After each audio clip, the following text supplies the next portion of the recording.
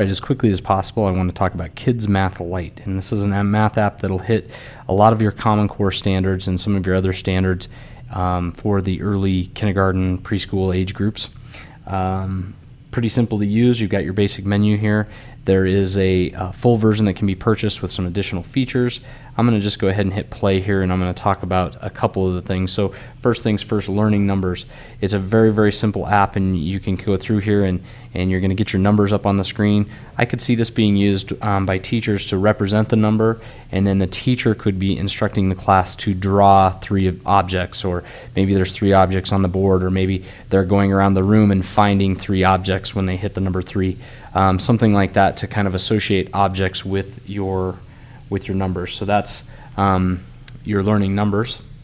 There is your counting. Counting is um, done also um, pretty easily. So you can see there, there's two flowers, so it's a representation. And so I would pick two. It's going to say I get the correct answer, and I get to move on. If I get the wrong answer, it doesn't let me continue, and that's the key feedback that this app provides that'll be an assistive part of your instruction. Um, it also has a feature to choose the maximum number. Again, very, very handy. So there it is. And notice it's very simple to use. So this is something your kids can pick up and just go for. All right. And let's look at the minimum number real quick. Same um, balloons, very simple to use. And then last but not least, we have an addition portion. And the addition portion does switch it to a different um, it switches it to the portrait mode over the landscape mode, so your students will have to kind of maneuver their iPads, but notice that there's essentially just some um, apples and pears on the tree.